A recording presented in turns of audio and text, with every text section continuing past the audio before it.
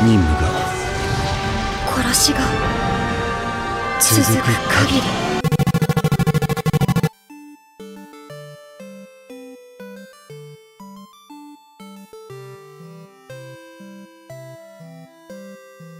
アル系アニメ。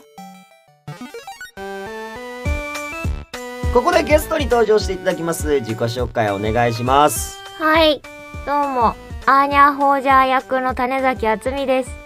はい、ゆるフォージャー役の早見沙織です。よろしくお願いします。よろしくお願いします。はい。ということでこの3人でねがっつりトークする機会は、まあ、これまでにあの先行上映イベント最速プレミア上映で、まあ、3人で登壇して、はい、まあ、その時はあの1話2話の話とかを中心にやってましたけれども、まあ、今回は3話が放送された後といったところなのでね、っていうところなんですけれども、まあ、まずは1話2話ですよ。1話2話の話をしたいんですけれどもいかがですか？アニメが放送されましたけれどもおめでとうございます。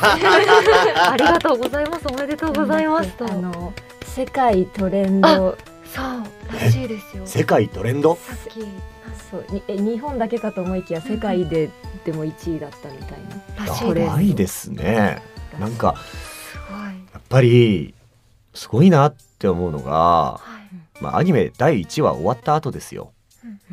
もうやっぱ各現場で言われますね、見ましたよ。みたいな。あ、そっか。一話夜さんまだ出てないか。私、ん。出てないんですねってすごい言われました。一一話には。まだ。あ出てなかったんですねってすごい言われました。2話から楽しみにしててくださいみたいなね、はい、そうそうです。うん。だからそれぐらいものすごい反響というかやっぱ見ていただいてるなっていうのをひしひし感じますけれどもね、ええ。第2話もねだから、まあ、ここから夜さん登場ですけれども、うん。うん、今見るとやっぱりまあまあ我々はもうねはい。結構もう撮ってるんで、はい。先に進んでますけれどもはい。2話改めて見るとどうですか？うん、もうなんかこうここから始まったんだなっていうちょっと感慨深くなりましたよね。うんあのピンで指輪のところとうんか。最高のプロポーズですよね。うんあすごい。いいアニメだは いアニメだ